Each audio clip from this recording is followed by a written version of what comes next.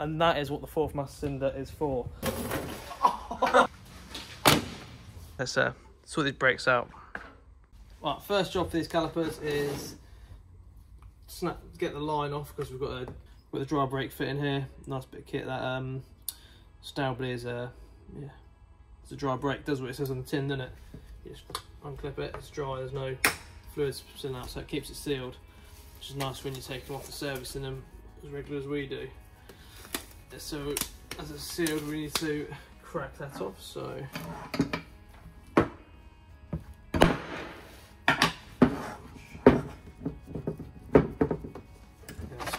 Let's get this tray so I don't get fluid everywhere. Now next up, we'll take the fitting out so we can. So next job we need to get all of these pistons out, all six of them, because the main job here is we're going to replace the seals on the pistons. So if we pop all six out, we'll do that. But I'll show you what we've got here, how we do that. Here's a tool I've made. It's only a quick one. It still needs some finalising. It's an old old carbon brake disc. Just got the angle grind to it, cut it, glued some bits of carbon on here to get the right thickness. So put that in the middle there, and then we push push it out. Come to the end, but don't pop out. So they're all equally out. I mean, the tool's not the best, but it's better than no tools. So let's see how that goes now.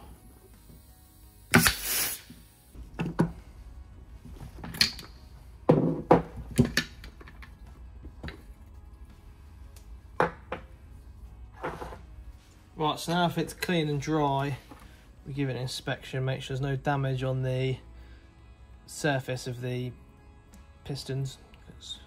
If there's any marks or scores, then it's going to damage the new seals. So we'll check all of them, and then on the caliper, check for any wear inside the bores. Um, make sure it's all good in there. Check these little tabs here. Sometimes they break, which hold the which hold the um, pads in the right place and just check for any other wear or cracks or anything but these, these Brembo brakes are calipers are pretty decent pretty good. So here we are now ready for the rebuild. Got the caliper all the pistons new seals and they are in the seal conditioning fluid. So you got to condition the seals. So I've left them for 24 hours just over 24 hours now soaking in the fluid. So they are now ready to go and slip in the caliper so as I've had all the all of these together, mixed up together, they are colour coded. So the medium sized ones are got a white dash on them.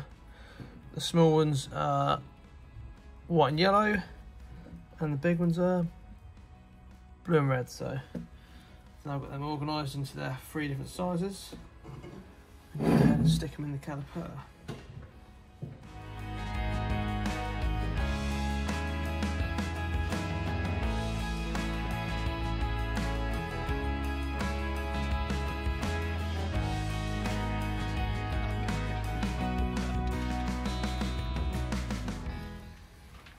There we have it.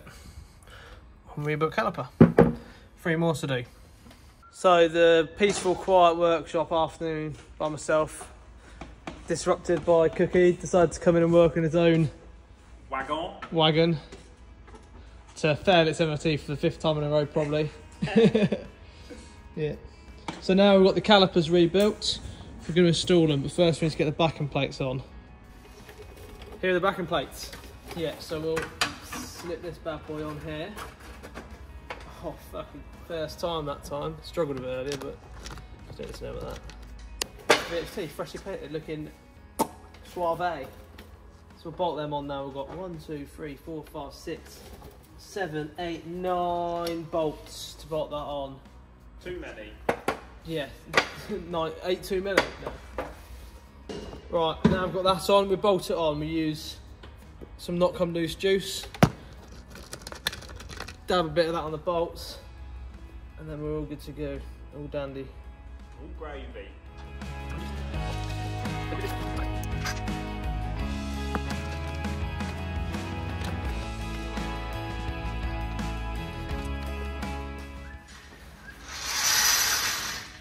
That's the rear one on. Time to bang on the front one.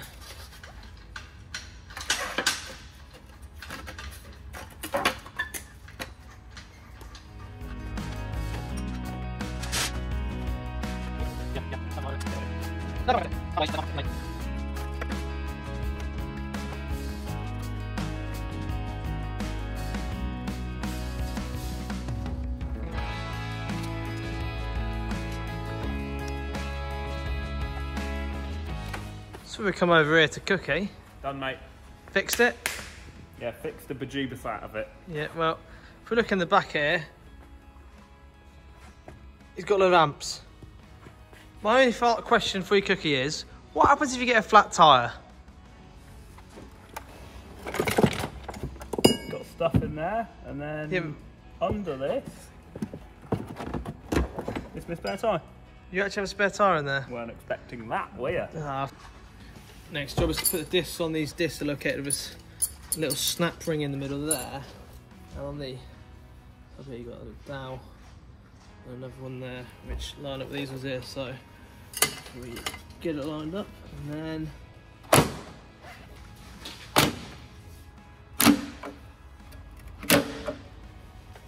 And next up, we've got the brake caliper itself. Because obviously there's no, usually on some cars we work on, there's the bolt sort in here with a bracket. You can take that out and slide the pads in behind for quick changes. But because these uh, carbon discs and pads can last a whole 24 hours, you don't need to have the quick change on them, so they don't. So solid bit in the back there for the extra strength.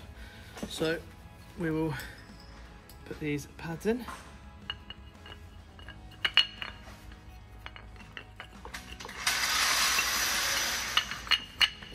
Now the pads in, we'll slip them on.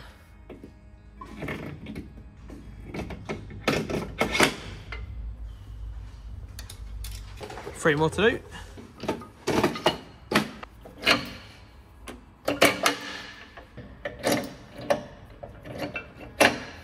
And that's all four calipers now on. Just need to connect up the lines, cable tie them up, and obviously tighten and torque up the nuts. So that'll be next.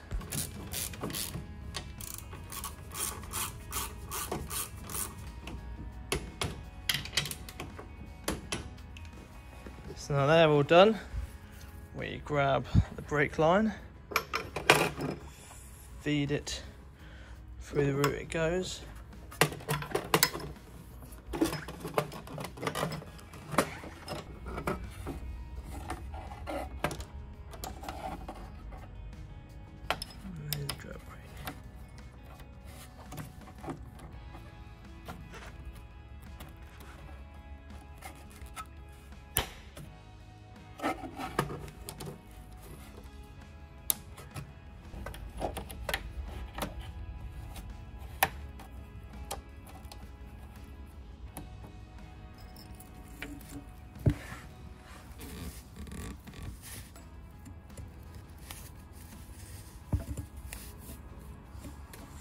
Beautiful.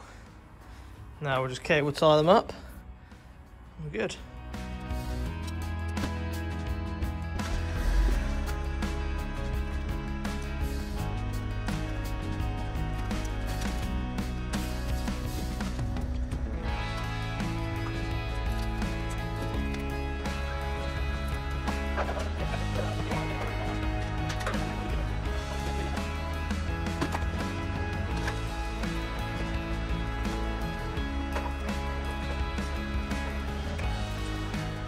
So that's it now, all the brakes fitted and on. So just need to bleed the brakes up next, that's the next job, but on my own can't do that because I need someone on the rear caliper as well, so I'll do the front and the pedal and the fluid. So we'll have to do that another day. Um, yeah, so we're getting there with the car.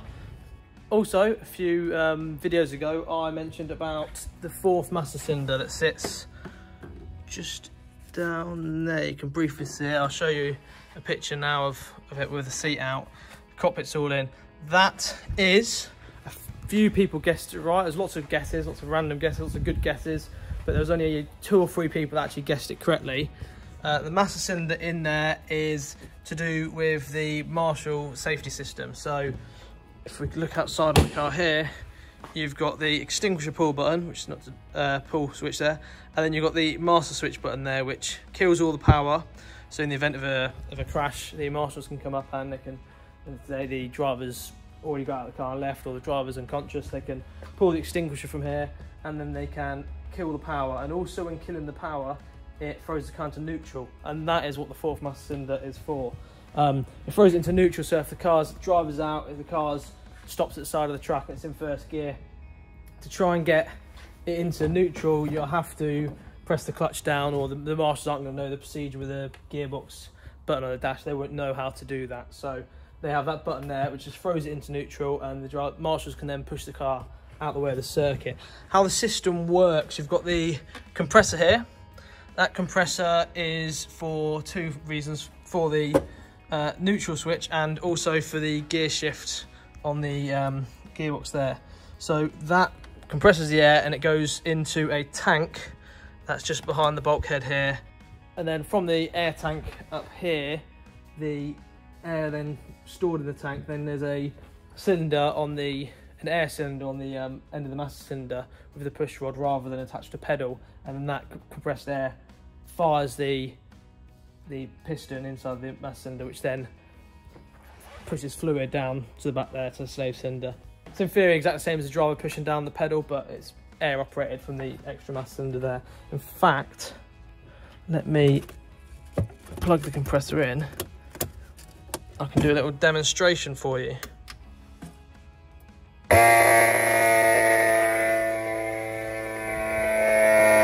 that's the compressor, very noisy.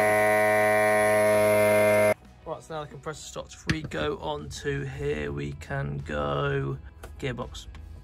That's on B2. So we press manual gearbox and we can shift it. Now that's shifted it into first gear now, so as you can see, it's in gear there. We can turn manual gearbox off now. So there we are in first gear. As we tested there, it's in there. Now if we hit the button,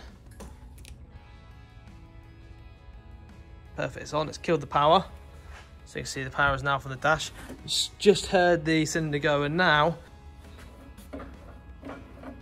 spins nice and freely. Look, clutch is down in neutral. So beautiful. That's that's that is the that's the fourth master cylinder in the car then. And if we press the button again, you'll hear it. You get your head release. Head release, and there's a compressor just building the pressure back up. So that's how that works. I'm sure there's lots of other systems on the car that you might not know, and I can show you if you want to. Just leave a comment down below on anything, and uh, I'm sure in a future video I can show you. Make sure you comment and subscribe, give us a like, and I'll keep making these videos and bringing you along on the uh, rest of the race weekends we do. So see you in the next one.